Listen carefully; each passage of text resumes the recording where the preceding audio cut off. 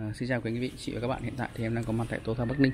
Thì trong khuôn khổ video này em sẽ giới thiệu cho anh chị một chiếc Toyota Cross màu ờ, đỏ bản V là bản ờ, xăng cao cấp đấy thì uh, Cross được phân phối ở thị trường Việt Nam với ba phiên bản. Trong đấy có hai phiên bản là thuần xăng và một phiên bản là xăng lai điện được nhập khẩu nguyên chiếc từ Thái Lan à, giá lên lớn các phiên bản là 720 triệu cho phiên bản xăng tiêu chuẩn 820 triệu cho phiên bản xăng cao cấp và 910 triệu là phiên bản xăng điện.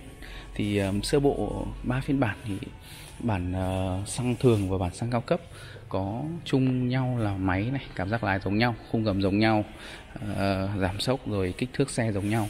Tuy nhiên là khác nhau với các uh, cái trang bị về option như là ở đầu xe thì có trang bị khác nhau là về đèn này một cái là đèn led bản V là dùng đèn led còn bản G là dùng bản đèn halogen.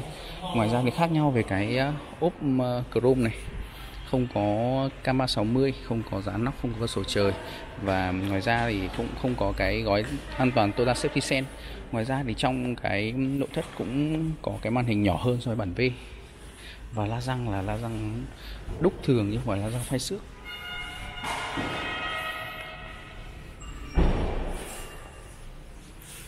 Um, Toyota Cross thì được ờ, có hai tùy chọn nội thất là màu đen và màu ờ, đỏ đun. Ngoài ra thì cái màu ngoại thất cũng có 7 7 ờ, tùy chọn về nội thất.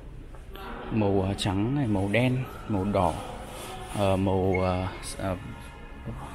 xanh đá này màu xanh nước biển màu nâu. Thì đây là các thông số cơ bản về xe xe thì bên em hỗ trợ trả góp tối đa đến 80% giá trị xe và thời gian tối đa là 7 năm. Có tùy theo cái, tùy theo cái mức tài chính của anh chị thì bên em có những cái gói hỗ trợ riêng. Ví dụ như ở đây, có um, bên em có tài chính của Tota thì có cái gói vay như trên video này là này là 6,49% một năm và tỷ lệ vay lên đến 60% giá trị xe. Thì anh chị được vay tối đa 12 tháng và hàng tháng không phải trả bất kỳ khoản phí nào. Thời gian vay tối đa là một năm.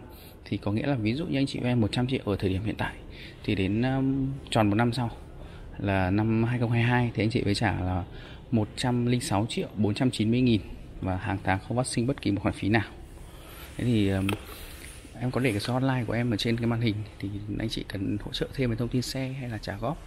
Và lịch xe đặc biệt lịch xe uh, trong những thời điểm gần Tết này thì uh, màu sắc và màu nội thất thì anh chị uh, liên hệ với em em sẽ báo giá và uh, cái tiến độ xe cho anh chị nó tốt nhất. Uh, hẹn anh chị ở video sau. Xin chào và hẹn gặp lại.